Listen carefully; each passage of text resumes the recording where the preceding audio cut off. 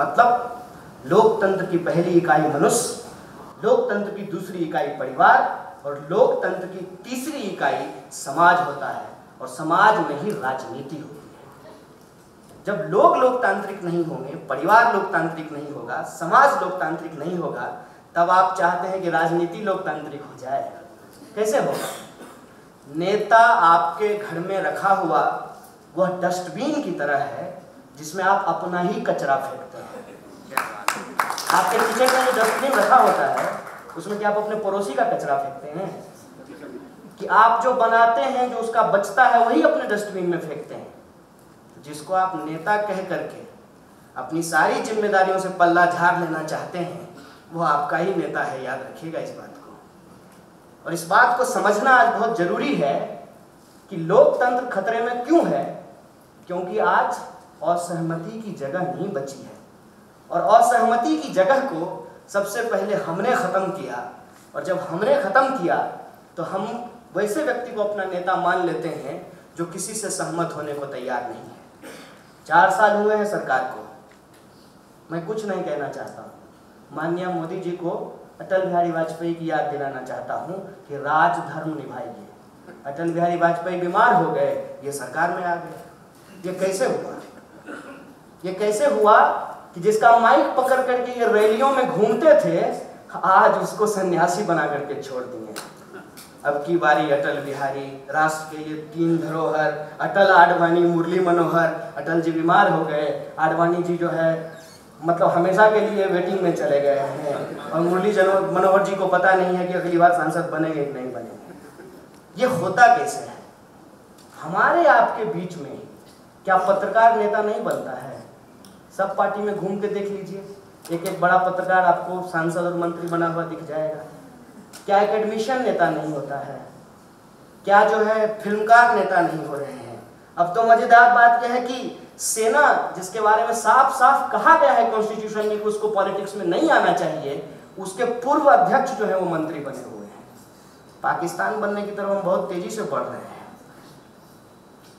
ये जो परिस्थिति है, इस परिस्थिति में पहली बात तो ये है कि राजनीति खराब चीज़ है नेता होना खराब बात है राजनीति हमको नहीं करनी चाहिए हम तो निष्पक्ष बने रहेंगे हम तो बढ़िया एकेडमिशियन होना चाहते हैं हम बढ़िया सोशल एक्टिविस्ट बन करके रहेंगे हम बहुत लाजवाब फ़िल्म फ़िल्म मेकर बनेंगे। तो खूब बढ़िया क्रिकेट खेलिए और देश का चैलेंज लेने के बजाय प्रधानमंत्री को चैलेंज दीजिए। यही चल रहा है ना? जब नागरिक समाज पूरे के पूरे नागरिकों को रिप्रेजेंट नहीं करता है। तब नागरिक समाज की भूमिका डेमोक्रेसी के अंदर न्यूनतम हो जाती है और जब नागरिक समाज की भूमिका डेमोक्रेसी के अंदर डेमोक्रेसी के अंदर न्यूनतम हो जाती है, तब लोकतंत्र के अंदर तानाशाह पैदा होता है और वो तानाशाह जो है किसी भी असहमति को बर्दाश्त नहीं करता है। तो सबसे पहली बात कि इस इंक्लूसिव इंडिया के प्रोग्राम के ऑर्गेनाइजर को बहुत बहुत धन्यवाद।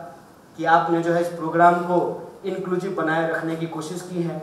हालाँकि वहाँ बैठकर मैं तमाम वक्ताओं को सुन रहा था तो यही सोच रहा था कि मैं बोलूँ क्या?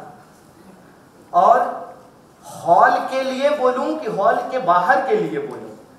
क्योंकि सबसे बड़ी समस्या ये है कि आज जो हॉल में बैठे हैं और जो हम हॉल के लिए बोलते हैं, जो हॉल से बाहर एक बहुत बड़ी आबादी है, उससे कनेक्शन नहीं हो पाता। तेज कम्युनिकेशन के जमाने में हम इतने आइसोलेशन में चले गए हैं।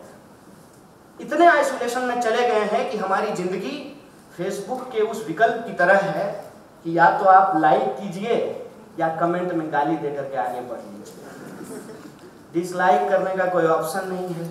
या आप ये ना कह सकें कि आपके आधे पैराग्राफ से को हम लाइक कर रहे हैं और आधे पैराग्राफ को हम डिसलाइक कर रहे हैं। ऐसा पोलराइजेशन का दौर है या तो आप हमारे साथ हैं या हमारे खिलाफ हैं। ऐसा नहीं होता है समाज। और ऐसा समाज को नहीं होना चाहिए। और इसीलिए पर्सनल, पॉलिटिकल और सोशल इसके बीच का जो एक अंतर है, वो अंतर इतना घालमेल हो गया है कि आज आप एक सही पोजीशन लेने की स्थिति में नहीं है। मसलन कि ये बात सही है कि एक प्रधानमंत्री के बखान के तौर पे जो मोदी जी के बारे में कहा गया, उसको अप्रिशिएट किया जाना चाहिए। अगर वो आदमी चाय बेचा है तो मुझे डाउट है। अगर वो चाय बेचा हो तो एक चाय बेचने वाले का बेटा यदि देश का प्रधानमंत्री हो तो ये तो लोकतंत्र की सफलता है।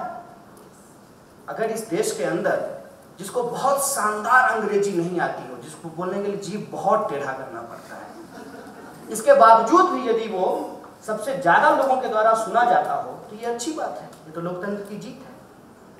एक साधारण कार्यकर्ता, मैंने कुछ लोग दिल्ली में रहते हैं और कुल्लू में चुनाव जीतना चाहते हैं।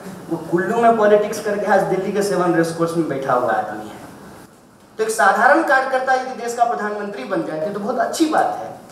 लेकिन सच में ऐसा हुआ है क्या? मैं यहाँ आपकी बात से सहमत हूँ कि प्रधानमंत्री को बकरा बनाया गया है। और वो बकरा बने हैं किसके? वो बकरा बने ही इस देश के अंबानी और अदानी के।